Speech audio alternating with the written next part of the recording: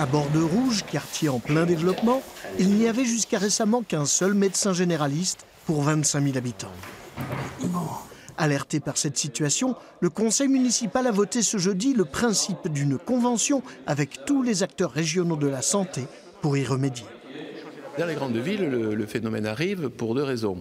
Toulouse, ville très en croissance, beaucoup de gens arrivent de nouveaux quartiers. Ces nouveaux quartiers, il faut leur proposer euh, euh, un système de santé de proximité. Et puis, les autres quartiers, il y a le vieillissement de la population médicale.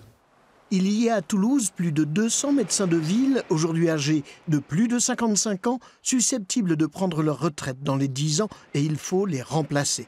La solution est déjà bien rodée en milieu rural, les maisons de santé.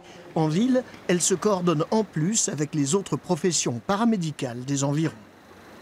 C'est un vrai territoire euh, où nous avons associé euh, ben, tous les professionnels du quartier à travers une association qui s'appelle la CPTS, à travers cette maison de santé qui permet donc euh, de répondre à une offre globale, puisqu'en fait nous sommes ouverts du lundi au samedi et avec donc différents professionnels de santé.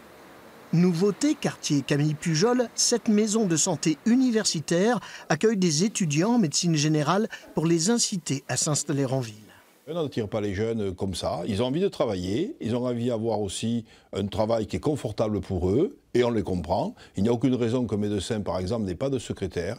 Et c'est vrai que tous ne seront pas universitaires, mais beaucoup seront aidés grâce aux internes et grâce au travail que fait le département universitaire de médecine générale de Toulouse.